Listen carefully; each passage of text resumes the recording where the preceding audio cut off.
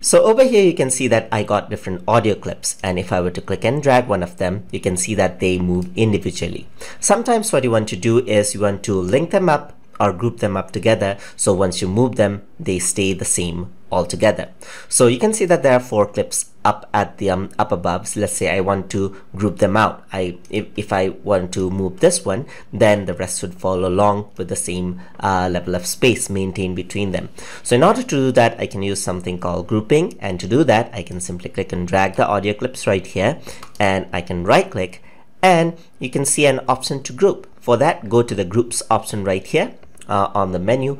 And here you can see that there is group clips. Once you do that the clips has been grouped together as you can see right here.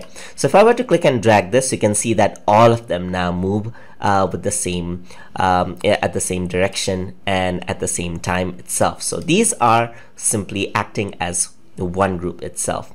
If I want to ungroup it I can simply right click on this and I can go to groups and suspend group as well so once I do suspend group, you can see that all of the groups are actually, uh, all of the clips are actually suspended now. They are still a part of the group itself, but they are suspended. So they act as, um, as individual clips right here.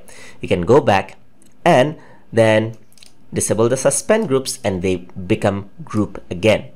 If you completely want to remove the group, you can simply right click, go to groups right here and ungroup the selected clips and all of them are ungrouped now. Another thing you can do is you can also select clips from multiple layers like this and group them together. So if you want to keep a lot of things stuck together so if you have really done a great mixing and then you want to group things together then this might come in handy so that is how you can group and ungroup, ungroup clips in Adobe Audition uh, hope you guys learned something as always and as always please like comment share and subscribe